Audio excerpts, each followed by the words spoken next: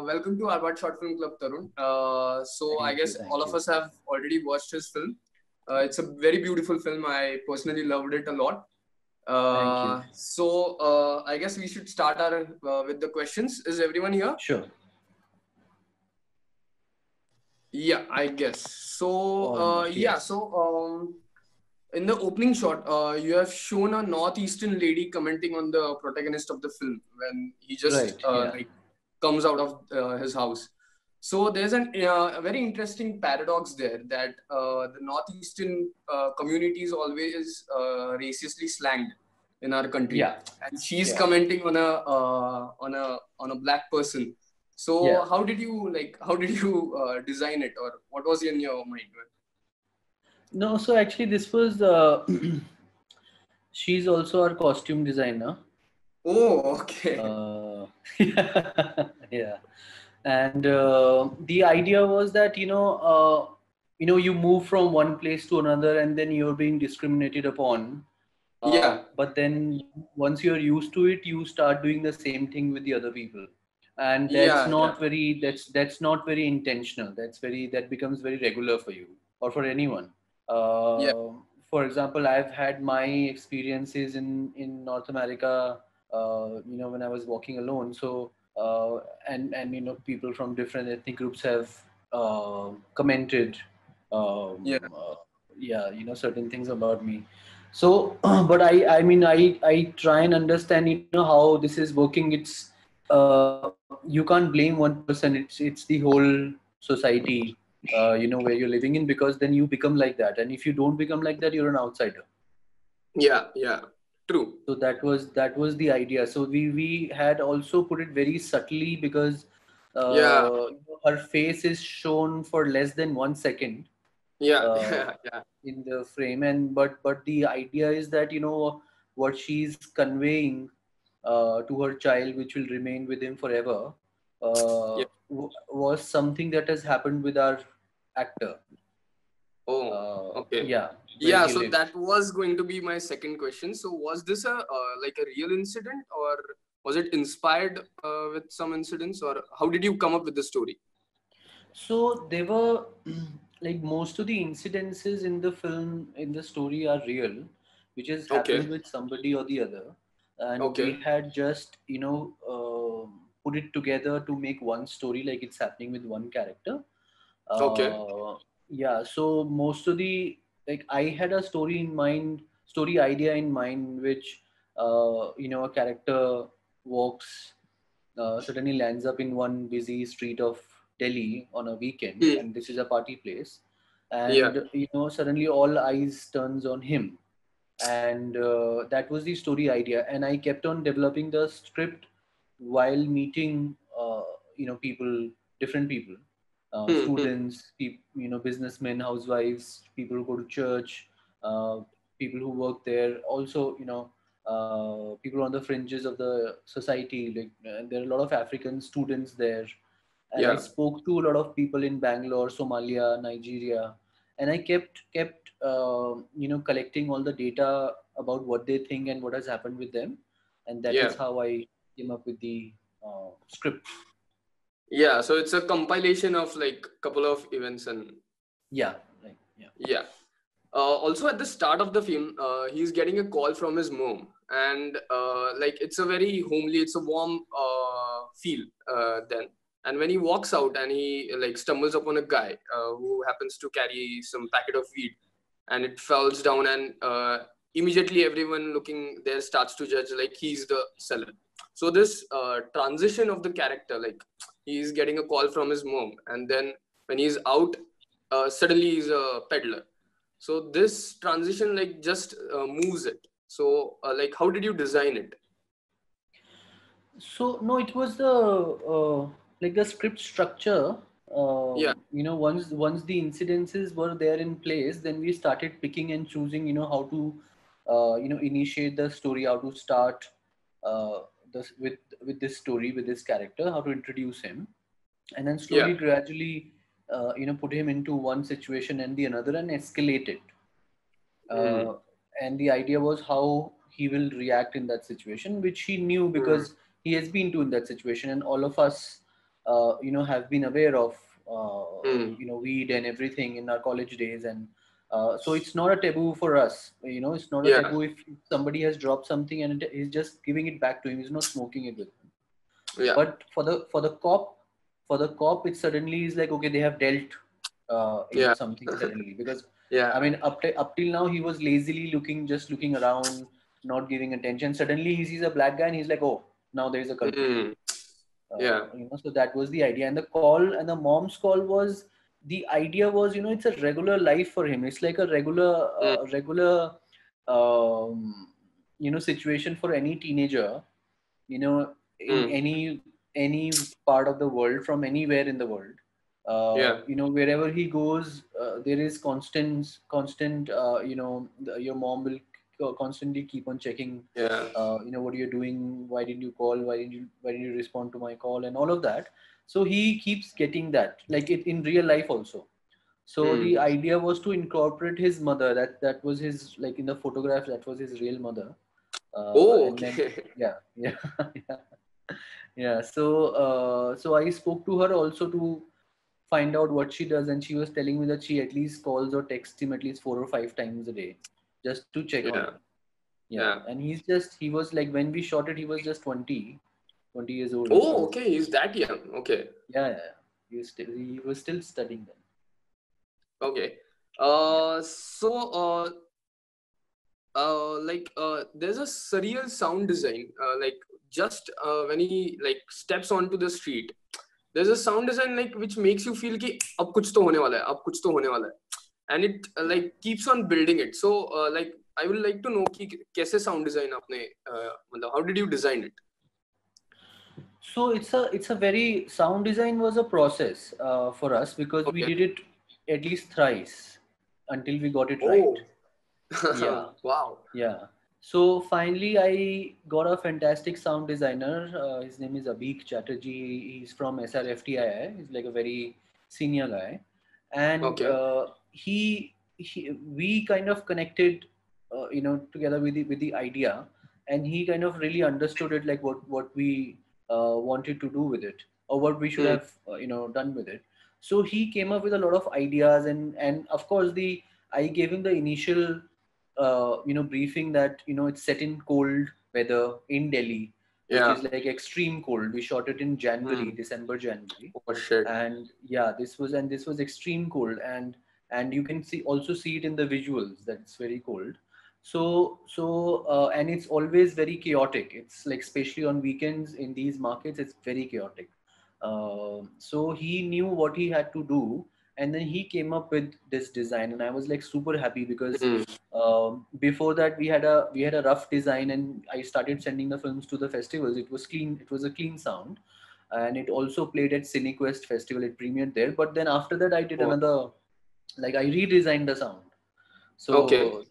Yeah then we came up with this so we finished it and then it, he, he really did a great job in bringing Yeah. out the character of the story because without the i mean i i personally work on sound a lot uh, Mhm. even even in scripting uh, i always think of elements you know which can help move the story if there are no dialogues uh, you know create tension and all of that and Yeah, for that was also evident in Amma Meri also. Like, yeah oh, yeah yeah that feel was there.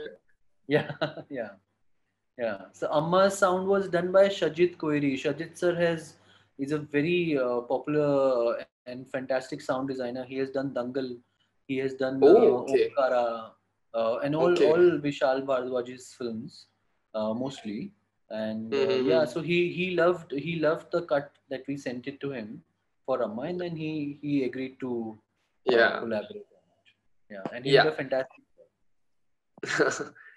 uh, so like uh, so uh, what were the challenges uh, while shooting with the foreigner? Because the protagonist of your film is a foreigner. And how did you approach that? How did you explain him your like your perspective of uh, a foreigner being seen or being like uh, judged on the street? So how did you took it and how did you work with him? Yeah, so as I said that he he is a student, and Mhm. um, you know we auditioned a lot. I personally found out and met a lot of students and through the through the DU net DU's network, Delhi University's network, Hmm. from the hostels and through friends and through from Jawaharlal Uni- University, Jamia, and also uh, you know Punjab, Jaipur. Uh, so I met more than 50, 60 uh, people, students mainly. Okay. Uh, just and and without telling that I'm planning something, I was just talking to them. I told them that I'm doing some research. Uh, so I was constantly trying to figure out like who can that person be, like who can who who's not an actor first of all, Hmm. but is willing to do it.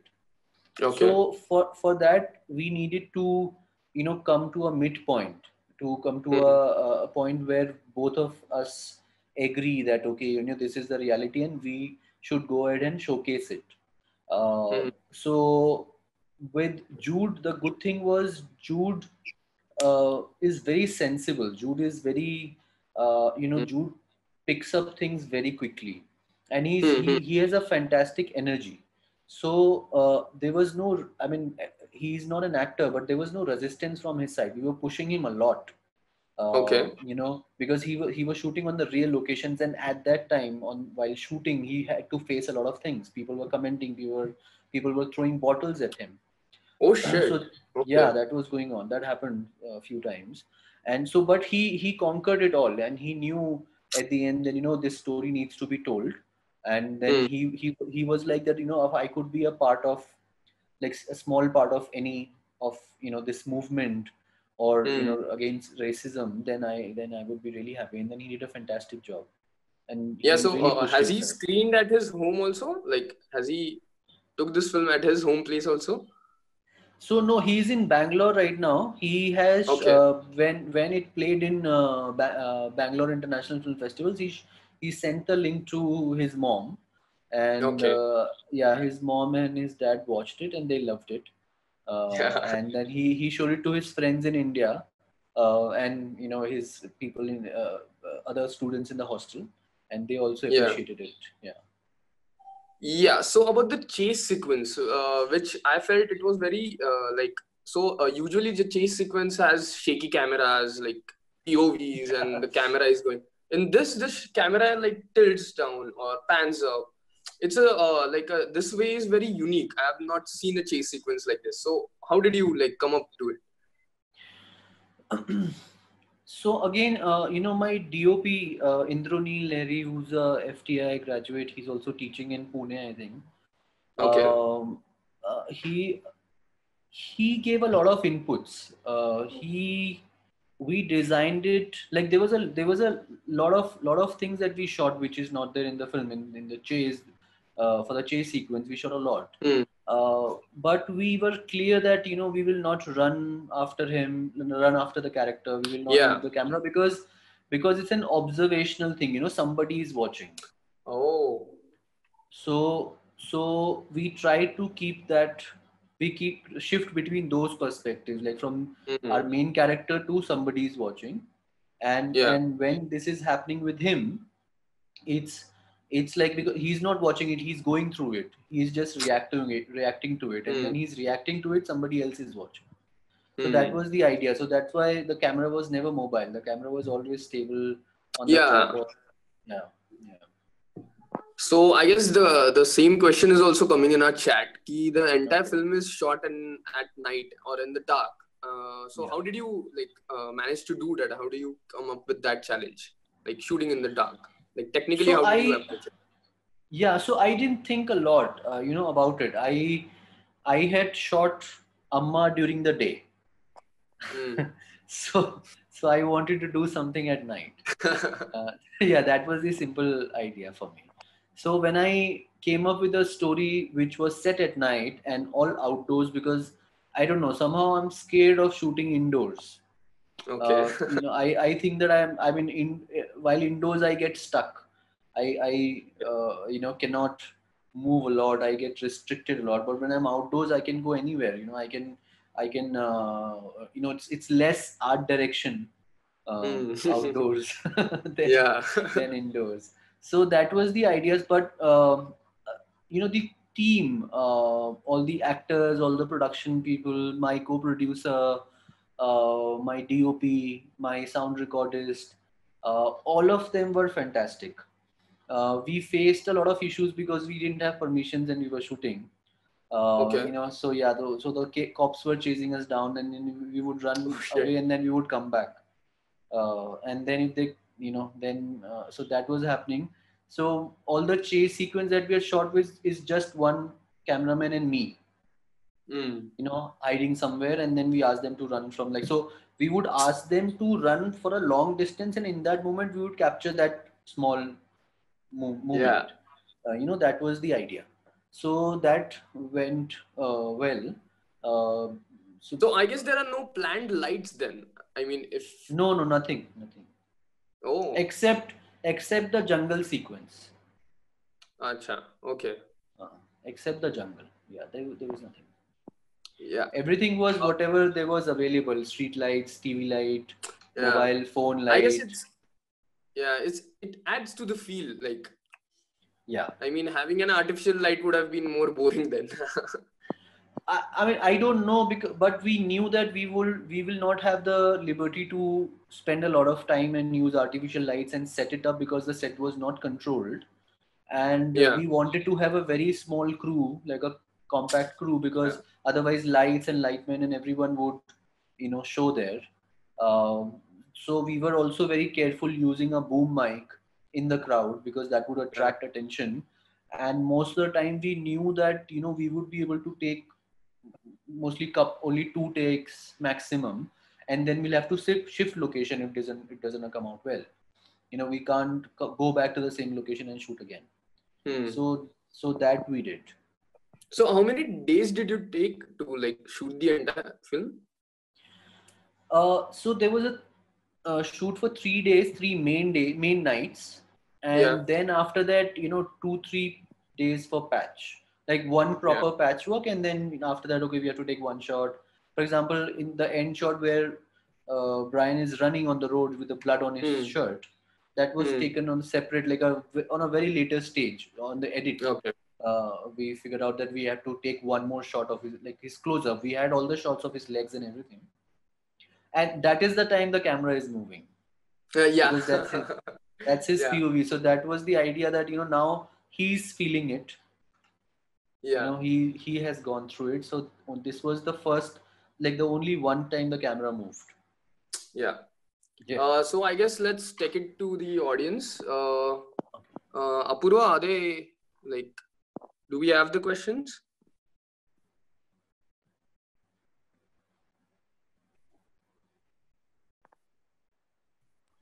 uh, we have uh, many reactions. Uh, one question we have getting is, how did you manage the dog?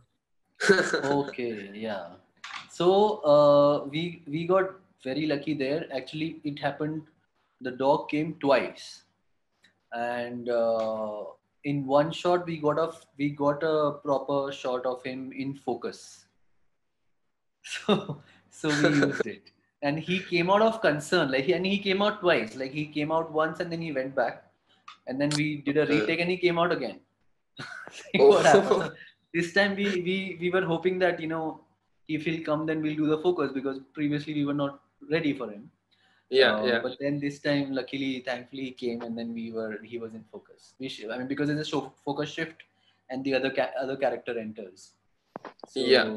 we got really, really Uh, lucky Someone is asking about the uh, how much of the location sound is used, uh, like in the film, and how did you use location sound in the overall film?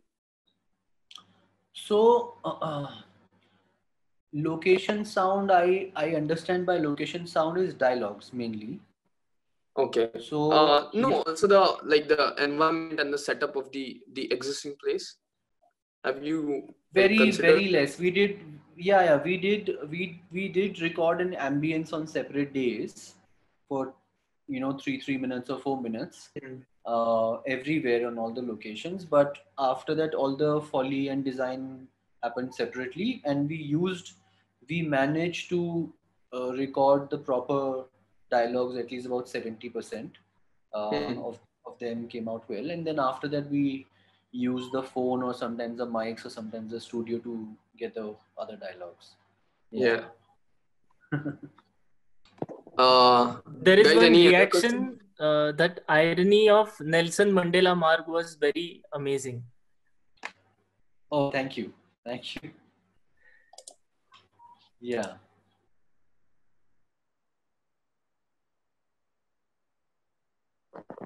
Uh, Yeah. Hi. hey, hi. Uh, so great film, uh, uh, and really loved the uh, loved the movie. Um, Thank so you. uh, uh, actually, t- I had two questions. One is, uh, you know, as you said, uh, the central character, the person who's playing the central character is a non-actor, right? So uh, my first question is, uh, you know, what kind of challenges did you did you face specifically with that uh, in terms of you know working with non-actors? And my second question is, I think uh, probably you may have answered it a bit. Uh, uh, before but then just kind of talk about the atmospherics that you created because it it was really unique and it lent a lot to the feel of the film so just wanted to know more about that thank you Sure, sure, sure. So, uh, as I said, being being a non-actor, Jude, uh, you know, was really uh, pushing himself, and uh, which made it easy for easier for us. But uh, the great part was um, Anurag Arora, who's the actor in Amma Meri, main main Hmm. actor. He is also the executive creative producer of the film, and he took on a challenge to train Jude and he took his workshops for about a month. Uh, he also does, uh, you know, actors workshops, and it turns out he's a fantastic actor and a fantastic teacher. And after one month of observing all the actors and you know being in that class, uh, it really helped Jude to come up with his own ideas. You know, there were there were few techniques that he learned that he knew that you know he can't be idle in front of the camera uh, so he was constantly doing like whenever he was very conscious about whenever the camera was around him and- and it was on and he would try and do something around it like move something look somewhere does like not not sit idle or not stare into space you know without thinking anything. He was he was really working on that. Uh, apart from that the cha- i mean the challenge of course there there are challenges but there are also advantages that you know you will get a lot of things that you don't expect uh, from a non-actor which will be very real you know which you can't recreate so i was really happy uh, you know to have him there as well in, in that department because he was like while shooting while when he was performing i was getting ideas okay now he has done that i can take this next shot you know because that will be the counter shot. Uh, so you know he improvised the whole conversation on the phone.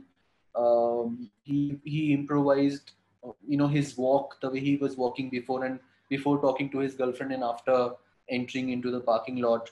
So all of that came from him. I like for at sometimes i also feel that this could have like it's maybe little cliche that you know before and after but but for a non-actor to go through that process and perform that way that too on a real location in a uh, you know indie uh, guerrilla shoot uh, was very good for us. So that and and the other thing you asked was central character? Sorry uh, i wanted to uh, ask you about atmospherics. What you created and that really lent well to the film. Right. So as i said uh, as i said the um uh, basically it's, it's all it's all the magic of sound design. My sound designer has done a fantastic job. I was really really really happy after uh, you know we he sent the final sound to check. Uh, uh, and then you know i could i could relate with the film better with that sound. You know i could relate with the first scene and the end scene when the mom calls and the mom calls in the end. You know suddenly there was this recall value. And also the weather weather i mean this guy has never been to delhi. He lives in uh, calcutta. Uh, but he understood the atmosphere of delhi's winter uh, very well. So i i mean all credit mm, goes to him for that you know for all the atmosphere that he's created. Yeah thank you so much Uh, I guess, uh, like, yeah. Uh, so it was great having you, Tarun. Uh, like you. for the second time, we have enjoyed your film. Uh, I guess everyone has loved the interaction as well. Uh, so, um, what are your future plans now? So, are we expecting a new short film? So, what are you yes working on right now? yeah so i i like uh, i started writing uh, as soon as you know after march uh, and with a couple of friends and also my co-producer she's also writing one film. Uh, so we plan to uh, there are a couple of films couple of stories that we are working on. Uh, there is one which is locked which is on uh, uh, you know eve teasing and how we look at women like the like what is the north india mindset. Uh, you know so that is one short film that we are working on. Like we have like the script is locked. We are just trying to figure out the logistics. Uh, and the second film uh, second story that i'm really excited about is is about a small kid um, you know a, a tribal in uttarakhand somewhere you know living in uh, you know some mountain. And you know how she's dealing with things there. And she has no she has no uh, resources there but she wants to become an astronaut. Awesome. Okay. Uh, so uh, I guess um, thank you for like uh, sharing your film with Arbhaat Short Film Club. Uh, Thank you so Make much. another one and please share it again. We'll love to have it. sure thank you thank Yeah. you thank you Okay. There is there is uh, there is there is one more reaction from Avinash that he would it would be very interesting to show the film to the migrant students from other countries in India and catch their reactions. Also, Yes. also, can you please share your uh, mail ID so that people can reach out to you? They can share their reactions and whatever they want to. Sure, sure. I'm just. I'm. Will it reach everyone Yes. from here Yeah. from the chat yes, box? yes. Okay, fantastic. So uh, this is a very good uh, thing that Abhinash is saying, and we were planning to do that. Uh, you know, we started working on it, organizing this in uh, in February, and we were talking to Noida International University, and also there is one more university in Noida, uh, and then we you know sent emails to JNU and Jamia and other other places. Uh, we were about to materialize one screening in Noida, but then due to lockdown, everything stopped. So, if anyone has any suggestions or any, uh, you know, uh, lead uh, to give us, you know, where we can screen it, I would like to do it all over India. Uh, after the festival run, which is so it's playing in few festivals in September as well. After the festival run, we will try and do it in, um, you know, few places in UK and definitely the US, uh, definitely Florida um, and and many other places. So, but but we are uh, you know are limited with our resources. So, um, any suggestion would be really welcome. Yeah. Thank you. Okay. Thank you, Tarun. Uh, thank you so much. Thank you.